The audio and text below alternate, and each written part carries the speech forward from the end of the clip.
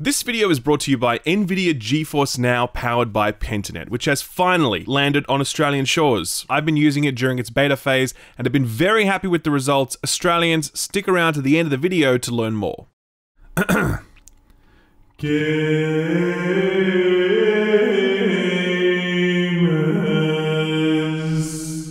Okay, I'm really sorry about that. I'll never do that again, I promise, but I couldn't help myself because we finally, finally got to see some actual Halo Infinite campaign gameplay, so it just felt right. I'm, I'm sorry for the permanent damage I've no doubt done to your ears. Hopefully your health insurance covers it. Ladies and gentlemen, what a week it has been. GTA Trilogy Remaster, Halo gameplay, Starfield news, God of War on PC, and a Splinter Cell game? Can this week just chill the fuck out already? Do you know how hard it is to fit this episode into 20-ish minutes? I can hear the disappointment in Austin's voice when I hand him a 5,000 word script and he's like, oh man, this is gonna be a long one, isn't it? Yes it is, Austin. Yes it is. With that said, let's not waste any more time. Let's get straight into the news. Biggest story of the week, maybe, probably. I don't know, there are a lot of big stories this week. One of the biggest stories of the week was the reveal of the Grand Theft Auto Trilogy Remaster, subtitled The Definitive Edition. Rockstar dropped a brief but informative trailer showcasing the huge graphical overhaul that each title was getting, and I gotta say, I think this looks really damn impressive. Kotaku had earlier reported that all three games were being rebuilt in Unreal Engine, which seemed very unlikely, and while Rockstar haven't formally announced that, a data mine leak earlier this month all but confirmed it. Now, having seen the game in action, Kotaku's reporting makes a lot of sense because this is no minor touch up. The amount of detail that has been added to the world is crazy, but Rockstar still managed to capture the essence of GTA's blocky visuals. Fans are a lot more divided on the approach to character models, particularly those of the protagonist, and yeah, gotta agree there, they do look a little weird. Seeing that much detail in faces that were historically devoid of that detail is a little jarring. We all had our own imagining of how these characters looked, and whatever that was, this certainly was not it. Still, it feels like a minor quibble given how impressive everything else is. This is hitting PlayStation, Xbox, Switch, and the Rockstar PC launcher on November 11th, and it's retailing for 60 US dollars. But good news, the entire remastered trilogy will be available on PS Now commencing December 7th, and the remastered San Andreas is arriving on Game Pass on day one.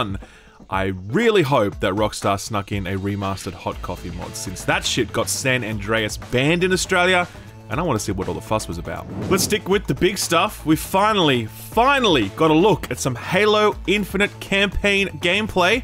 Let's take a quick look. Halo Infinite allows us all to become Master Chief, doing what Spartans do best defying the odds to take down the banished.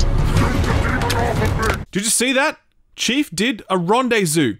Hope he doesn't get sued by EA for that one. This was a make or break moment for 343, since the last time we saw campaign gameplay, Craig was born. What a dish, look at him. That hairline, that chiseled brow, those deep, beady puppy dog eyes. Craig was a sensation, unlike the rest of Halo Infinite, which met a fan backlash so universal that Microsoft delayed the game for an entire year, abandoning the dream of having Halo Infinite as a launch title for Microsoft's shiny new fridge, I mean console. So the stakes were pretty high when 343 clicked play on their showcase this week, and Look, I don't know to be honest. The response to it has been overwhelmingly positive, with social media awash with hype and the YouTube video buried under an avalanche of likes. And I'm really happy that other people are happy, but I'm not on the same page to be honest, at least not yet. I'm not quite sold on the idea that Halo needs to be open world, clearing outposts and collecting resources to upgrade stuff.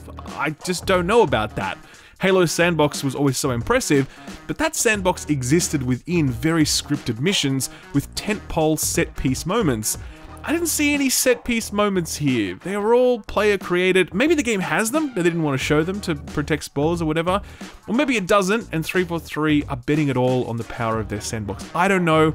I still remain very excited for Infinite, and I'm definitely rooting for 343 to succeed, but I've got a few question marks bouncing around my head right now that stop me from getting on board the full steam ahead hype train. Bottom line, I am looking forward to playing Halo Infinite in December. Speaking of Halo, Bungie, remember those guys? This week Destiny was at the top of the game subreddit and was trending all over Twitter, and that can mean only one thing. Bungie did another monetization oopsie.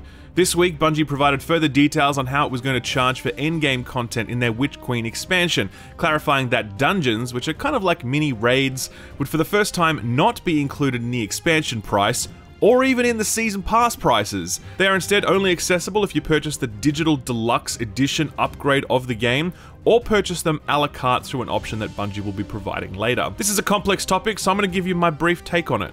No one actually thinks that these dungeons aren't worth the $10 or whatever that Bungie is asking for. Dollar for dollar, these experiences will certainly provide more hours of entertainment than any movie you'd pay to see. Hell, they're roughly the same price as those stupidly oversized American coffees. How do you guys put that amount of coffee into your body at one time. I don't understand. The issue is how chopped up and monetized and spivvy Destiny feels when it does stuff like this.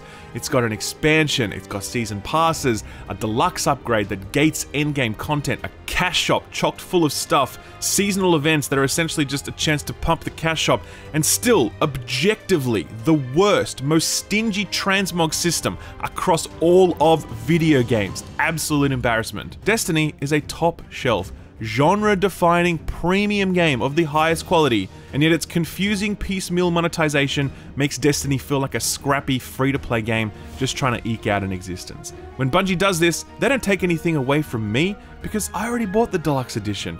Instead, they take away the ability for me to recruit my friends to the game. Because whenever I say, hey, you should try Destiny, they're going to be too overwhelmed and confused to know what to buy, or they're just going to be like, no thanks, I hear that game's a scam.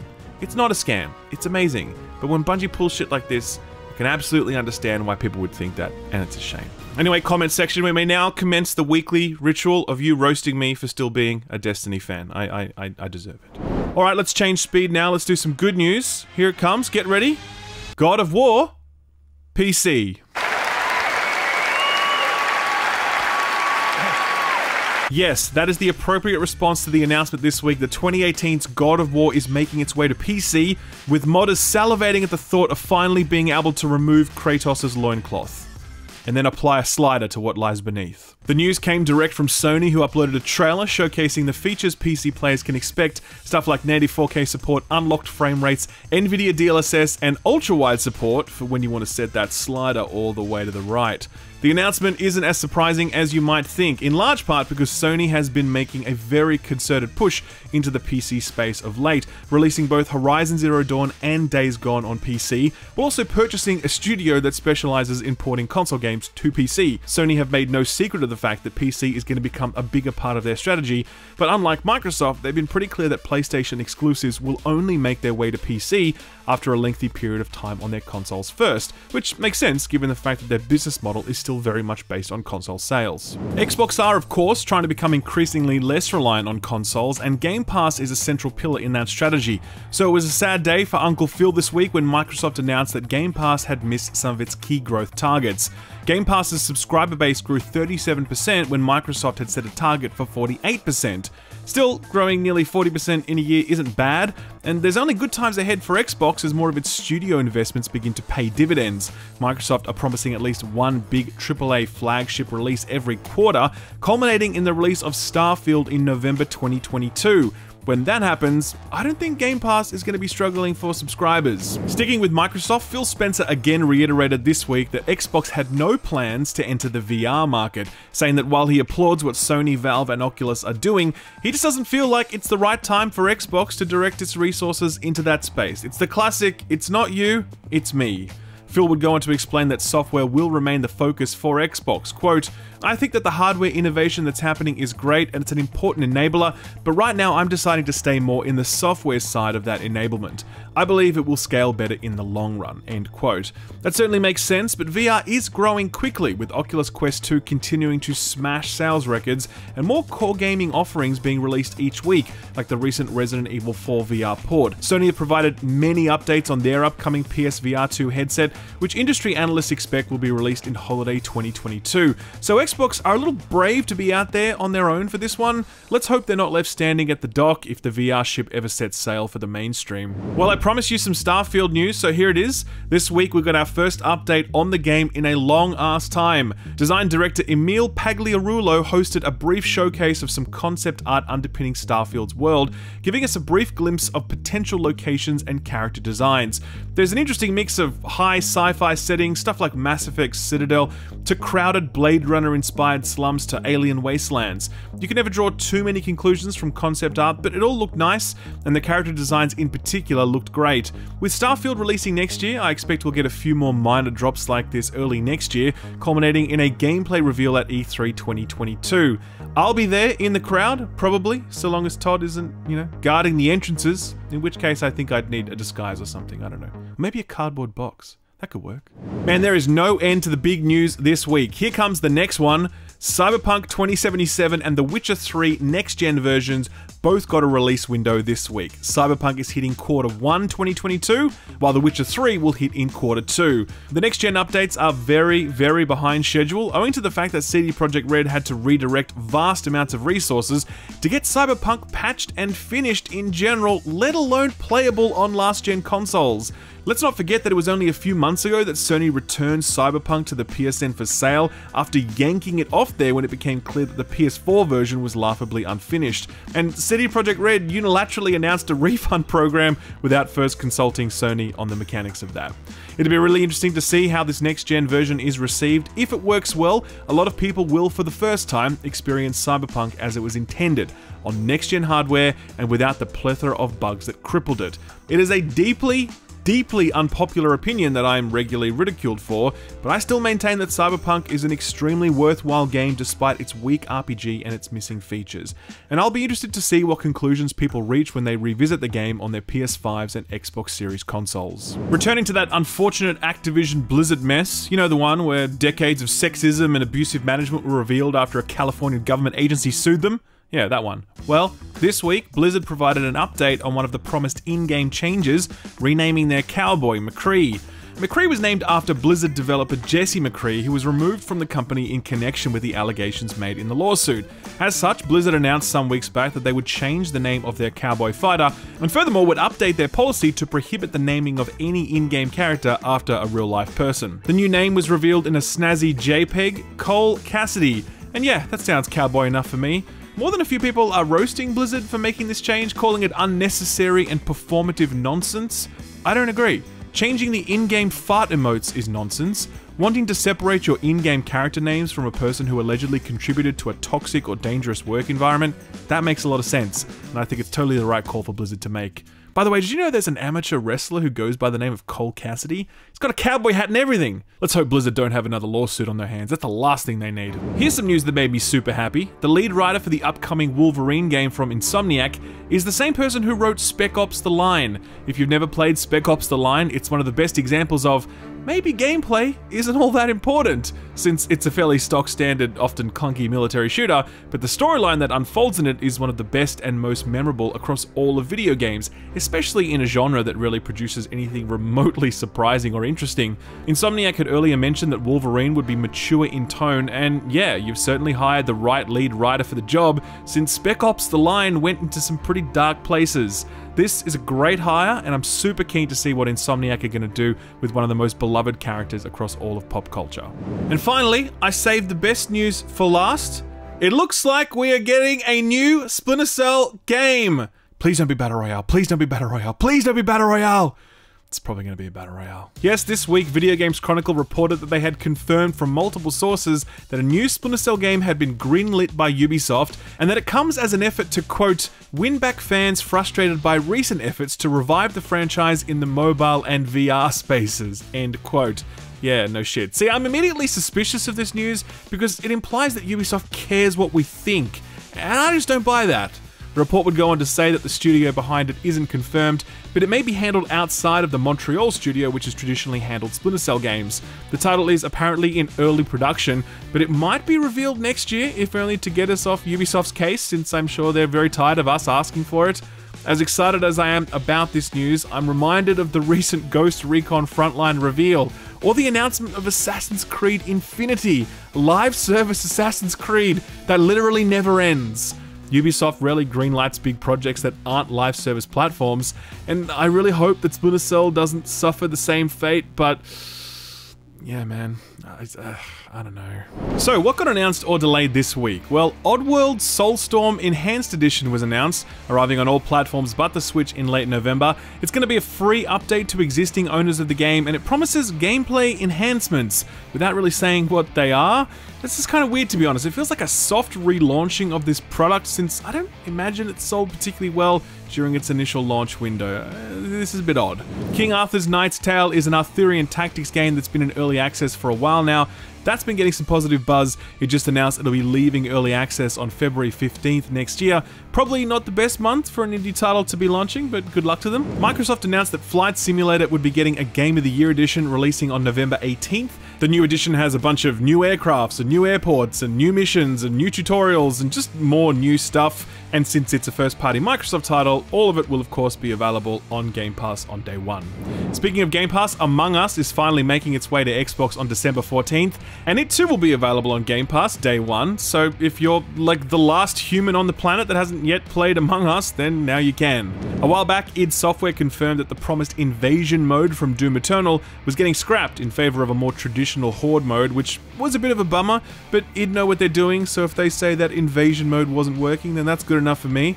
The new Horde mode releases today. It's a free update to anyone that owns Doom Eternal or anyone who chooses to play it through Game Pass, so check that out if you can. The most wholesome announcement of the week must surely go to Stardew Valley creator Concerned Ape, who this week revealed the existence of his next project, Haunted Chocolatier, if you're not familiar with how Stardew Valley was made, this guy basically locked himself in a room for four years and made it all on his own. And then he worked a bunch more years after that, adding huge amounts of new features to the game. It's perhaps the greatest indie success story in all of video games, since the game has gone on to sell millions of copies, and Concerned Ape got to keep all that paper for himself because he self-published the game. Good on him. Haunted Chocolatier certainly looks familiar with its art style and some of its mechanics, but the new premise of being a chocolate maker inside a haunted mansion is just too tempting to not be interested in. I don't know how he came up with that concept, but the man certainly knows what he's doing. There's no release date for this one yet because in typical Concerned Ape fashion, It'll be done when it's ready. And finally, one piece of delay news this week. The upcoming Advance Wars 1 and 2 remaster has been delayed, pushed from its planned release date on December 3rd into Northern Spring 2022, which is actually a pretty chunky delay. They said they needed more time for fine tuning, which is fine. Take all the time you need. Insert Miyamoto quote here. Let's go on to the next section. So, what came out last week? Well, for a while now, I've had my eye on a game called Sands of Aura, a stunningly beautiful isometric open world action game. They've been in development for some time now and made a surprise release into early access last week, with very little fanfare to be honest. A shame because I think a game that looks this good could have made a bit more of a splash had they put some marketing dollars behind it prior to the announcement. The reviews so far are 81% positive, so that's an encouraging sign for a game that still has a long development road ahead. I wish the developers all the best. Inscryption arrived on PC, and whoa, Nelly, has this landed well. This game has been out for less than a week and already has like 8,000 reviews, 95% of which are positive. That is gigantic. That is huge. That is mind blowing. Congratulations to the developer Daniel Mullins and congrats to Devolver Digital for once again picking a winner. These guys are the best odds makers in the business and you'd be a damn fool to bet against them. Into the Pit arrived on Xbox and PC as a day one Game Pass release. It's that retro inspired shooter where you run around with jazz hands. Reviews on this one are sitting at 78%, mostly positive on Steam, with critic scores landing a little lower at around 70 on Metacritic at the moment. The Dark Pictures anthology House of Ashes arrived on all platforms but the Switch, and it's done pretty well for itself. Certainly less divisive than the previous games in the series. Metacritic has it between 70 and 75 depending on platform. PC Gamer scored it an 80, saying, quote, Great monsters, stunning locations, and a quality mystery makes this one of Best, end quote. Finally, Resident Evil 4 VR hit the Oculus Quest 2, and everyone loves it. It hasn't got a Metacritic page, but it's sitting at 85 on OpenCritic. Fantastic result. GameSpot gave it a rare 9 out of 10, saying, quote, Capcom's survival horror classic shines on Oculus Quest 2, making it a must-play version for fans that can, end quote. If you can brave the terror of your auntie linking you cat memes and vaccine disinformation, it might just be worth creating a Facebook account to experience this one. So, what's coming out this week? Well, pretty huge week actually. Kicking things off is Marvel's Guardians of the Galaxy from Eidos Montreal and Square Enix, which released yesterday on all platforms. Everyone had the lowest expectations and the highest skepticism for this one, owing to the disastrous Avengers release, a game that I personally appreciated greatly, since it's been the gift that keeps on giving here on this channel. Well, sad times, ladies and gentlemen, we won't be able to add Guardians of the Galaxy to our regular dunk on this repertoire because it is actually very, very good. I reviewed it this week and gave it a strong recommend. Link to that review in the description below. I wasn't the only one who loved it. Most of the reviews are very positive, sitting at around 80 on Metacritic depending on platform, 90% very positive on Steam. Huge success here for Eidos Montreal, so congratulations on nailing this one. Releasing today into early access, exclusive to PC, is Forgive Me Father. It describes itself as a dark retro horror FPS, and I've had my eye on this one for a while since the visuals are just really, really nice. Kind of like a creepy Borderlands. Not much buzz around this one yet, but hopefully the early access period helps put it on people's radars. Releasing tomorrow, exclusive to PC and on Xbox Game Pass as a day one release, Age of Empires 4. I feel like no one's really talking about this one, like at all. This is a big deal, right? Like, it's a new Age of Empires game, it's here. But did you know that there's a new Age of Empires game releasing tomorrow? Well, you guys probably did because you're all huge nerds, but I suspect the average Joe wouldn't. Still, the title has reviewed very well, 83 on Metacritic. Game Informer scored it an 83, saying, quote, While Age of Empires 4 lacks any ambition to even gently jostle the standards set by Age of Empires two decades earlier, it's a good way to play a classic feeling RTS today with some slick polish and panache, end quote. I hope this does well. The RTS genre is so niche these days, so it's nice to know it's still getting some big releases from time to time. Fatal Frame, Maiden of Blackwater, releases on all platforms on the 28th. This is a remaster of the 2014 release, which back then was exclusive to the Nintendo Wii, and now everyone can experience it. Another on the 28th, Ubisoft Riders Republic, arriving on all platforms but the Switch, which is a shame because I think this would have worked really well on the Switch actually. It's Ubi's latest swing at trying to make extreme sports a thing where their previous efforts haven't hit pay dirt. I played this during a preview and also during the trial week that just wrapped up. I enjoy this. I'm going to review it on Saturday most likely, but unless anything terrible pops up before then, I'm probably just gonna say good things about it. It's a good time if you're looking for some chilled out fun, either alone or with your friends, so yeah, check it out. Yoko Taro's Voice of Cards releases on the 28th. Reviews aren't out for this one at the time of writing, which is a shame because I really want to see what the deal with this one is. I guess I'll report back next week. And finally, Mario Party Superstars releases on the 29th, exclusive to the Switch. The game is a kind of celebration of the best mini games from the Mario Party series, with a big focus on the Nintendo 64 4 era, but a total of 100 minigames pulled from previous entries in the series. There's 12 Mario Party games, by the way, so that's a pretty deep well to draw from. Put this on your radar. We are the new searchers. We may not always seek the same things, or even be on the same journey. Bound by shared moments of wonder. This is Book of Travels, and it released into early access a few weeks back. It's a really interesting deconstruction of the MMO RPG genre to the point where it actually bills itself as a TMO RPG or a tiny multiplayer online role playing game. You create a character that's more about their personality and approach than their RPG stat sheet numbers, and then you're free to roam about the world as you see fit. There isn't a beginning or an end to this world, it simply exists as a space for you to find small adventures or quiet moments, or perhaps even bump into other players as the game has a dynamic matchmaking system working in the background that will drop players in and out of your world, similar to something like Journey, which is actually a pretty pertinent parallel given that you also communicate non-verbally to everyone through the use of symbols. Book of Travels might be the connected, immersive, role-playing based experience you're looking for if the grind of traditional MMOs just isn't doing it for you anymore. It's had a successful launch into early access and it has a long roadmap ahead of it. If you're interested in getting in on the ground floor, I'll leave a link to its Steam page below. Sort of free stuff time, and we have a pretty solid week here, propped up by a strong Game Pass showing. Let's do Epic first though. Right now you can still grab Among the Sleep, but on the 29th that'll tick over to Darq Complete Edition. That game was made low-key famous back in 2019 when the developer turned down the offer of having the game released exclusively on the Epic Games Store, only for Epic to then turn around and refuse to sell the game at all. The developer stuck to his guns and released the game on Steam, and years later, the game is now being given away for free on the Epic Store. That's quite a turnaround for old Tim Sweeney there, but It wouldn't be the first time. Game Pass, this is the good stuff right here. Xbox provided an update on the upcoming monthly refresh, and it's looking very solid indeed. Dragon Ball Z Fighter arrives for both cloud and console, while that newly released indie title Into the Pit arrives for cloud, console, and PC. The Forgotten City is in there, and that is great news. Now, I didn't love that one as much as many other people did, but it really is worth checking out if you're into narrative driven games, time loop games, detective games.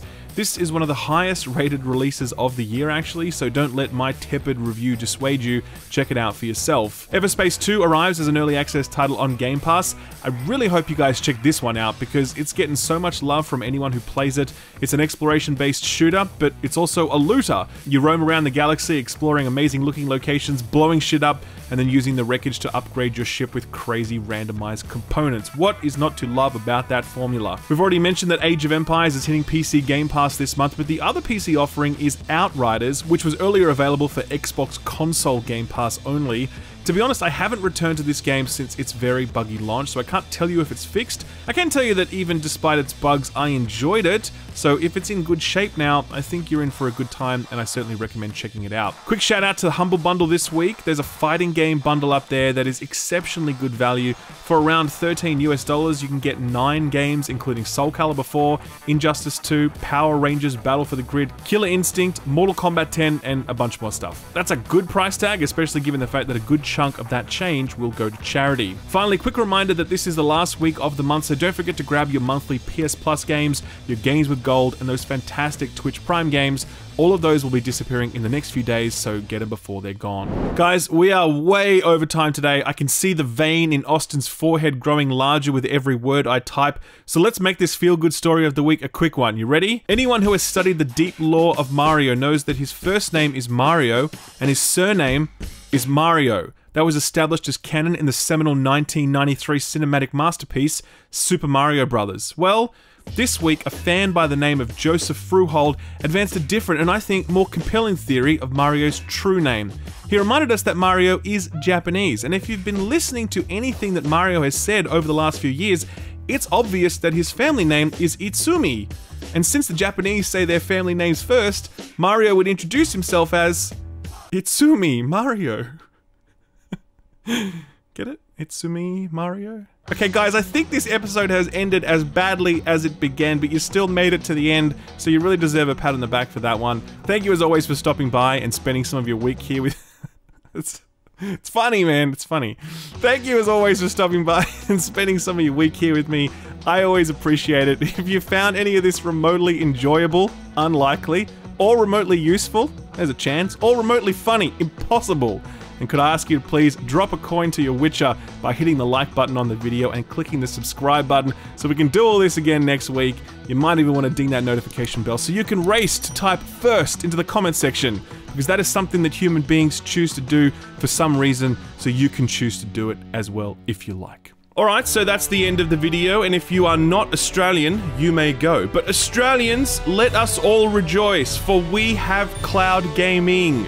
Am I allowed to do that to the anthem? I'm just gonna, I'm gonna do it. Yes! The nation most famous for its tin cans connected by strings internet is finally, finally kangaroo hopping into the 21st century 21 years late.